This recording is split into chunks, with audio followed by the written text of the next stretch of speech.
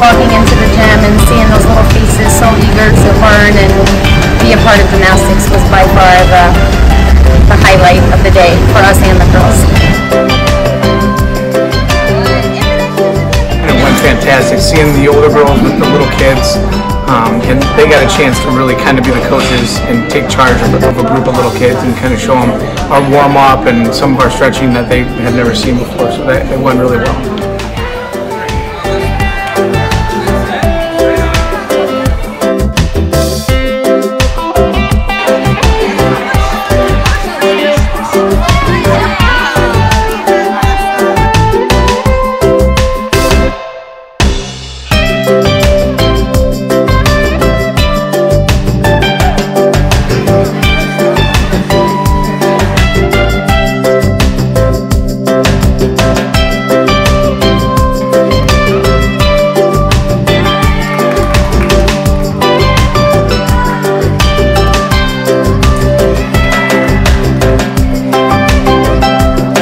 The little girl got to do a flyaway that was scared to do a flyaway because they didn't really, not that they didn't know how to spot her, that they didn't, they didn't get her to do it before, so she got to do that. So that that was accomplished accomplishment. That was a lot of fun for me.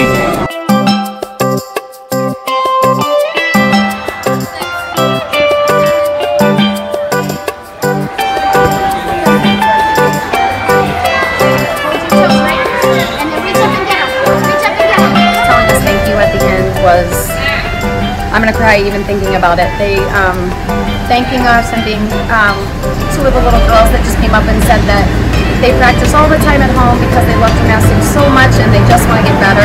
I just um, I wanted to put them in my bag and take